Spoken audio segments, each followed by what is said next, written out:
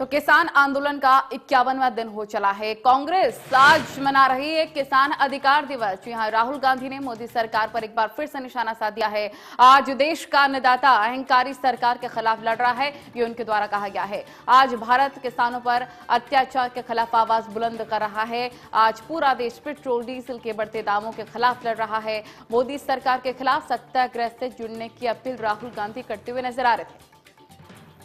ये आप देख सकते हैं राहुल गांधी का ट्वीट जो अभी हाल ही में उन्होंने किया है। कांग्रेस आज क्योंकि किसान अधिकार दिवस मना रही है और लोगों से और ज़्यादा जुड़ने की अपील भी कांग्रेस के द्वारा किया जा रहा है। मोदी सरकार पर एक बार फिर से राहुल गांधी का निशाना। ये ट्वीट हम आपको दिखा रहे हैं। आज भारत किसानों पर अत्याचार के खिलाफ आवाज़ उठाएगा। ये राहुल गांधी ने कहा, आज पूरा देश पेट्रोल, डीजल के बढ़ते दामों के खिलाफ ही लड़ रहा है, परेशान है।